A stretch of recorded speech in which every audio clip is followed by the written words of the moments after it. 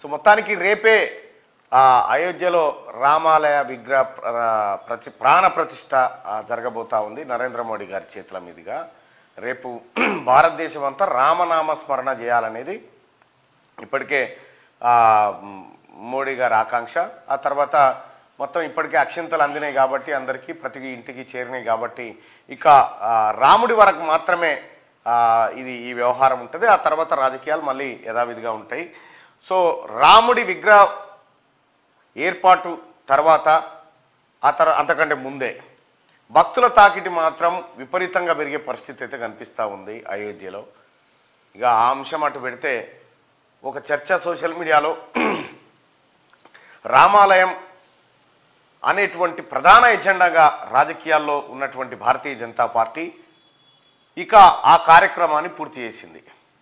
కాబట్టి ఇక మరి కొత్త అంశం ఏముండబోతా ఉంది భారతీయ జనతా పార్టీ ముంగట? అనేక ఎన్నికలు రామాలయం పేరు మీదనే జరిగినాయి ఆ పార్టీకి. మరి కొత్త ఎజెండా ఏముండబోతుంది ఎలా సృష్టించబోతా ఉన్నారు అనేది త్వరలో చూడాలి. ఇక ఇది అంశం ఇట్లుంటే ప్రస్తుతానికి భారత్ ఏది న్యాయ జోడో యాత్ర రాహుల్ గాంధీ నిర్వహిస్తున్నటువంటి యాత్ర కొనసాగుతుంది ఈశాన్య రాష్ట్రాల్లో. ఇక అమెరికా నుంచే లండన్ నుంచి రేవంత్ రెడ్డి ముఖ్యమంత్రి గారు రేవంత్ రెడ్డి రేపు ఉదయం రాబోతా ఉన్నాడు. ఇక రేపట పులిని బయటికి ఇడుస్తారట. ఎవరు కేటీ రామారావు అంటా ఉండు పులి రేపు బయటికి వెళ్తుంది అంటున్నాడు అటు రేవంత్ రెడ్డి గారేమో పులి బయటికి వెళ్ళంగానే బోన్ తయారుందని చెప్పి ఏమో రేవంత్ రెడ్డి గారు అంటా ఉన్నాడు. కొద్దిగా పాలిటిక్స్ కొంత హీట్ ఎక్కినట్టు కనిపిస్తూ ఉంది తెలంగాణ రాష్ట్రంలో రేవంత్ రెడ్డి పర్యటన ముఖ్యమంత్రి రేవంత్ రెడ్డి పర్యటన ఈ నెల ఇరవై ఆరు నుంచి ఆసిఫాబాద్ జిల్లా నుంచి ఉండబోతా ఉంది. అక్కడి ఇంద్రవెల్లి నుంచి ఉండబోతా ఉంది. అక్కడి నుంచి రాష్ట్ర వ్యాప్తంగా ముఖ్యమంత్రి రేవంత్ రెడ్డి పర్యటనలు కొనసాగబోతా ఉన్నాయి. ఇక మరి ఈ పులి ఈ ఈ దంతాలు లేని పులి ఈ గోర్లు లేని సింహం ఎప్పుడు బయటికి వెళ్తుంది? ఏం కథ?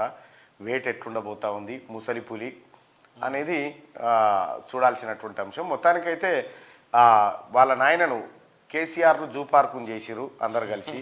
మా నాయన పులి అని కేటీ రామారావు అంటుండు సింహం అనేమో హరీష్ రావు హరీష్ రావు అంటుండు లే లే, లే, నేను కావాలి కుక్కననేమో కేసీఆర్ అంటుండు. మొత్తానికి కేసీఆర్ను జూ పార్కును తయారు చేసిరు కొత్త సెంటిమెంట్ ముచ్చట ఏంటంటే కేటీ రామారావు గారు ఏమంటున్నారంటే టీఆర్ఎస్ పార్టీ బీఆర్ఎస్ పార్టీని ఎందుకు బొంద పెడతావు?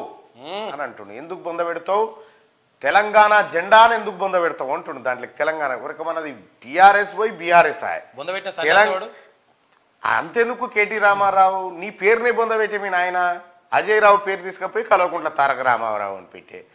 అట్లా నీ పేరు నీ పేరు మార్చినప్పటి నుంచి సురువు చేస్తే ఇక్కడ దాకా. మొత్తం మీరు చేసిందంతా ఏమన్నా పేర్లు మార్చుడు తప్ప ఏం చేసింది ఏమీ లేదు.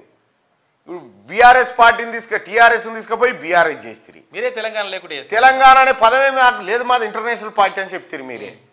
మళ్ళీ ఇంకా తెలంగాణకు నీకేం సంబంధం? నేను మొత్తుకుంటుంది అర్థమైతలేదా? శివలింగం మీదకి వెళ్ళి తేలు జారి కింద పడ్డది ఎప్పుడో. ఇప్పుడు శివలింగం మీదకి జారిపడ్డ తేళ్ళు ఏమైనా చేసుకోవచ్చు అన్నట్టు. ఇంకా తెలంగాణలో ప్రజల సెంటిమెంట్ మా వెనకాల ఉన్నది ప్రజలు మా వెనకాల నిలబడతారు.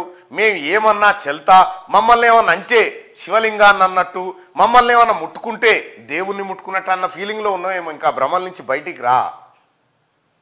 నిన్ను నీ కుటుంబాన్ని ఏ తెలంగాణ సమాజం నమ్మదు. ఇలా కామెంట్ చేస్తా ఉన్నావు. అక్కడ రేవంత్ రెడ్డి గారేమో బిల్లా రంగా అని పెట్టిండి ఇలా పేర్లు. కేటి రామారావుకు హరీష్ రావుకు. బిల్లా రంగా చార్లెస్ శోభరాజ్. చార్లెస్ శోభరాజ్ ఎరికే కదా? ఇంటర్నేషనల్ దొంగ. ఇక బిల్లా రంగా గురించి మీ అందరికి తెలిసిందేనా బిల్లా రంగలు ఢిల్లీలో ఏం చేసిరనేది మీ అందరికీ తెలుసు.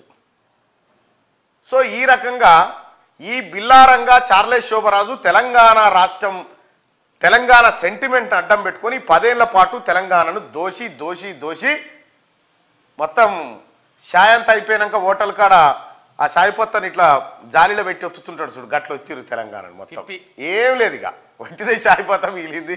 తెలంగాణ రాష్ట్రాన్ని ఒక గట్ల ఉడపోసిరు అన్నట్టు వీళ్ళు. మొత్తం ఉన్న కాడికి అంతా దోసిరు ఇగో ఈ రకంగా ఇంకా మాకేదో దొరుకుతుంది ఇంకా ఏమన్నా ఆశ ఉంటుంది ఇంకేమన్నా కొంతమంది మమ్మల్ని నమ్మే బకరాలు ఎవరన్నా ఉంటారేమో అని చూసుకుంటా ఉన్నట్టు. మిమ్మల్ని మీ బకరాలే తొక్కి చంపుతాయి ఎనడో అన్నాడు మీ బకరాలే తొక్కి చంపుతాయి. చాలామంది ఊర్లపంటి ఏ ఒక్క నాయకుడు అయినా నేను టీఆర్ఎస్లోనే కొనసాగుతాను అంటుండా? పోతానని పిలిస్తే పోతా. మొత్తం మంత్రులు ఎమ్మెల్యేల చుట్టూ తిరుగుతారు. సార్ ఒక వస్తారట సార్ చేర్చుకోరు సార్ వస్తారట సార్ చేర్చుకోరు సార్. ఆఖరికి మీ ఇంట్లో వాచ్మెన్ కూడా ఉండడు కేటీఆర్. ఆయన కూడా వీలైతే రేవంత్ రెడ్డి గారి ఇంటికాడనే చేస్తానని నీ ఇంటికాడ చేయ అంటాడేమో మరి. ఆ పరిస్థితి అయితే కనిపిస్తా ఉంది.